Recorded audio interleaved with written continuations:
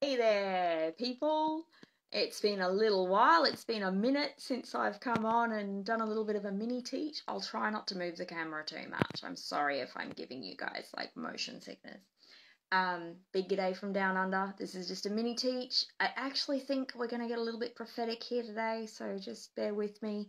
So, what is a mini teach? It is a short power pack of teaching, a nugget of truth, if you will, in less than 10 minutes. So, let's see how I'm going. Let's see where we're going today. Now this is important. This is this is like crunch time in across the nations right now.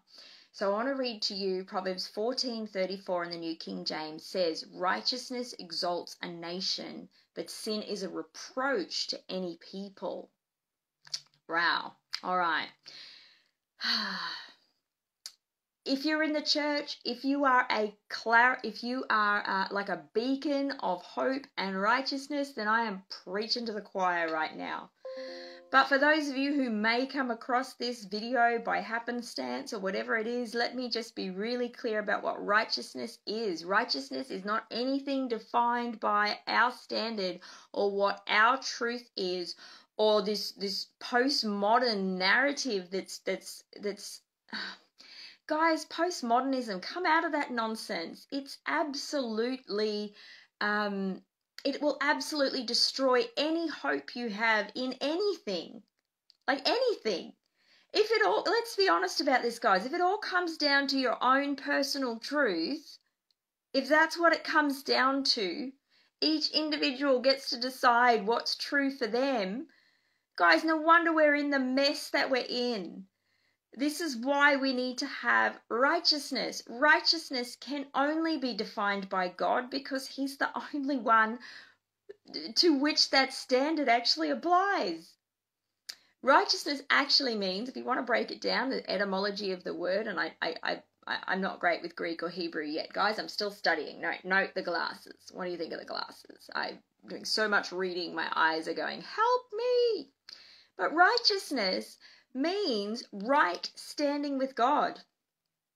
And the Bible is very clear that none of us are righteous, no, not one person.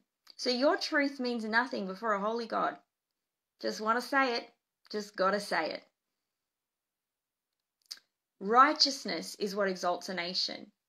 And as we are looking around the shaking of our economies, the shaking of everything, like, there's not a lot I'll say publicly just yet, prophetically, because the Lord hasn't released me to. But if you are not paying attention, um, you should be.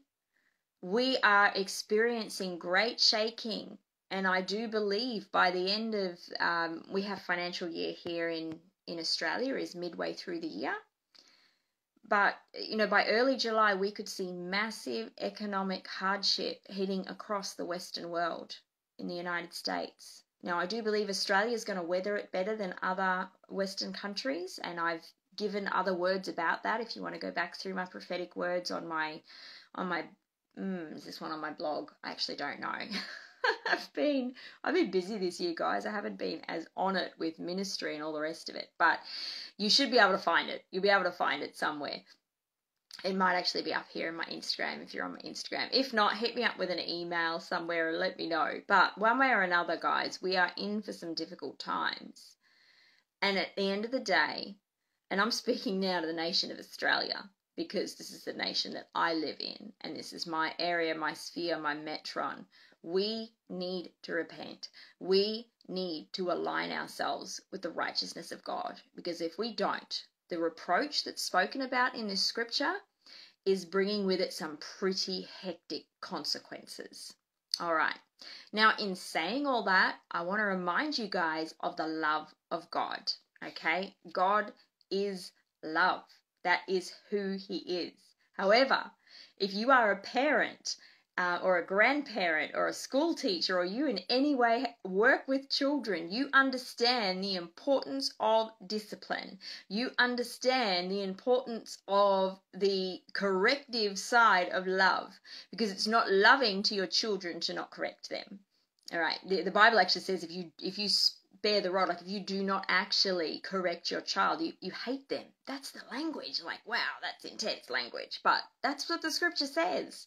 So, right now, if the if our nations and I'm crying out for the nation of Australia to repent, for our leaders to repent, for us to see our need to to push away from this narrative that we have and get back to the foundation of absolute truth, which is only found in God and can only be accessed through Jesus Christ.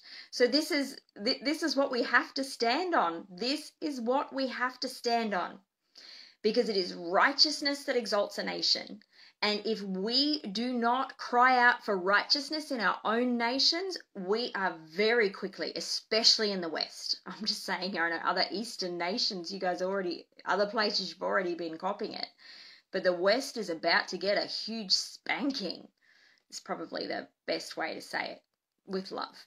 Um, but guys, get back to the righteous standard of God. And that's only found in Christ Jesus. We are not righteous of ourselves. There are no works we do that make us righteous. We are not by nature good people. That is a lie. The heart is desperately wicked. Who can know it? Scripture says that too. But if we want to see the move of God in our nation, let's be crying out for righteousness in our nation, for our leaders to repent um, you know, whatever that looks like. And in the meantime, guys, I would be saying to you, make sure you are preparing your Goshen. I gave a word about that last September. Make sure you are preparing your Goshen.